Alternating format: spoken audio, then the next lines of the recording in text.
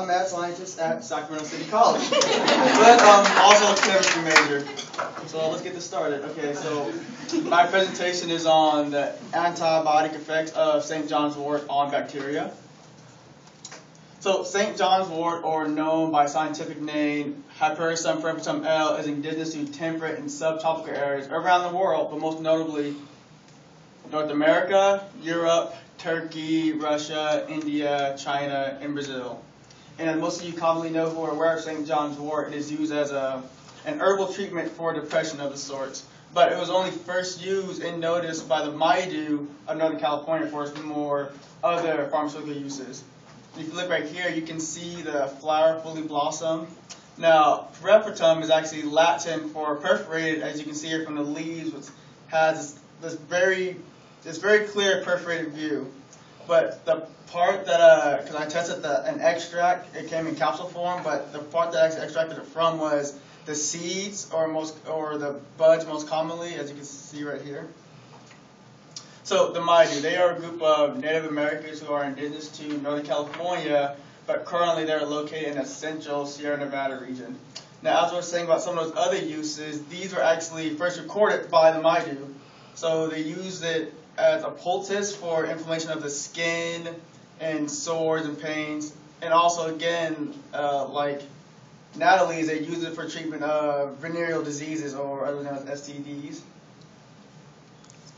So as you can see from the geographic distribution map, it's a very widespread crop. Anywhere with low altitude or climate in a, a relatively moist environment, the plant can actually become an invasive species like it is in England. So here are some uses that we researched today, but not, still not clinically used. You need to treat wounds, burns, and pains.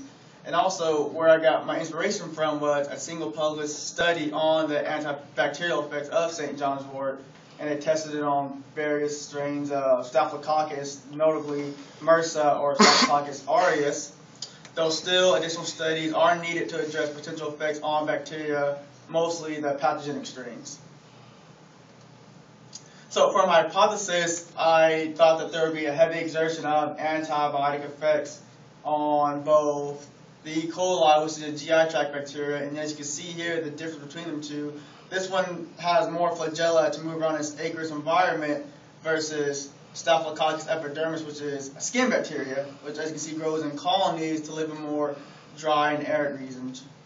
Arid regions. Now, the aqueous extracts I prepared are a tea, which most of you are familiar with, just boiling the water and then pouring it whatever you want and letting the plant seep or diffuse out into the water. And a decoction, which is actually putting whatever you want in the water and then boiling it along with it, thus making the soup. Now, as similar as these preparation methods may sound, they actually yield very different results.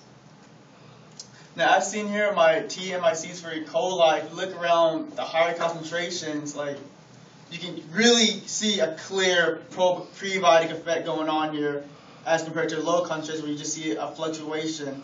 But it, as you can see, it's very defined as a prebiotic. And if you look at my staph epi, although still the same fluctuation, if you go to the highest point of concentration, we can still see that very distinct prebiotic effect. Now my decoction results a little bit more varied, but still around a high concentration, we still get that prebiotic effect going on. But we start to see a little bit of a minor antibiotic effect, although that could be from an error, but you guys can kind of see the picture. So for my decoction, this one really threw me for a loop because it didn't have the whole trend of a prebiotic effect at high concentrations, but had a more antibiotic effect at low concentrations. Now, my KBs greatly resemble those of my MIC results. As you can see, there is no antibiotic effect at all whatsoever for E. coli or staph. And as for my T, again, no antibiotic effect whatsoever. So you can greatly see that my MICs prove that there is a more prebiotic effect going on here. Now, for my conclusions, it showed that my MICs noted that there is a pretty distinct prebiotic effect at high concentrations of the extract, while in the decoction, we start to see more of a slight antibiotic effect in both strains of bacteria.